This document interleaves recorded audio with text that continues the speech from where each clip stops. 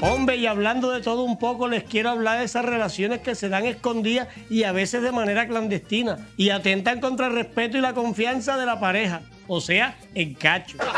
Hombre, y hay que ver que esa es una moda que no pasa de moda, ¿verdad? En toda época el cacho existió. Yo me pregunto una cosa, ¿quién se llevaría la primera cachera? ¿En qué época de la historia? Yo no creo que haya sido en el paraíso, porque ajá, ¿con quién le iba a poner los cachos Eva a Adán? ¿O con quién le iba a poner los cachos Adán a Eva? Para que haya cachos se necesitan más de dos, ¿sí o no? Vea, y sepan una cosa, donde aparece el cacho, aparece la burla y aparece el resentido. Sí, allá en el pueblo una muchacha se llevó una cachera y enseguida le pasó factura al marido. Y la vaina como que fue en la finca, porque ella y que dijo, hombre, ¿cómo es posible que cambies una yegua de paso fino por una pollina? Y dicen que él que se puso a decir, ay, la pollina no tendrá paso fino, pero también se deja montar sabroso.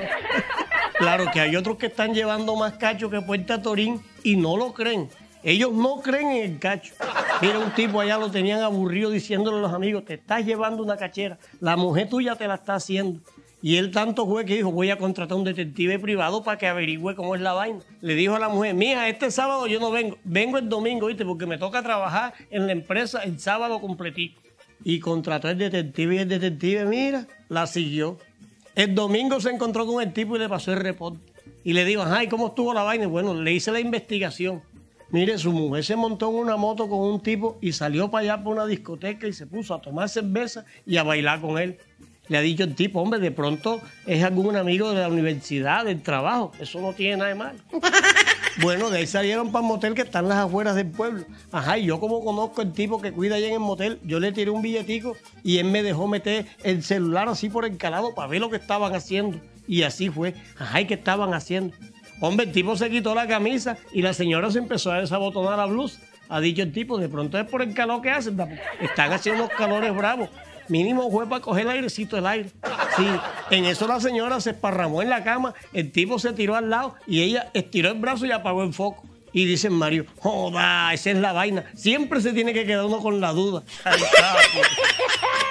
No, y eso no es nada. Allá en la calle El Ganado, un tipo que no voy a decir nombre, se cogió a la mujer rascándose las orejas con las rodillas. Mire, estaba cometiendo el pecado horizontal en Bancosná con un tipo y le dijo, ajá, así era que te quería coger. Y le dijo la mujer, así era que yo quería que me cogiera. Con historias de cacho allá en el pueblo hay bastante y casi toditas tienen que ver con el motel El Chocló. Ese es un motel que tiene ese nombre y que porque es onomatopoyético. Dice que porque se escucha y que chocló, chocló, chocló, chocló, chocló, chocló. Bueno, ayer donde estaba el susodicho con una muchacha y el tipo que cuida el motel le dijo, amigo, allá afuera está la mujer suya, yo pendiente, abre el ojo. Y el tipo se salió por la puentecita sin de atrás, se le dio la vuelta hacia la muchacha y sin darse cuenta ella cuando vino a verlo pudió las costillas y le dijo, ven la ve, te cogí cogiéndome.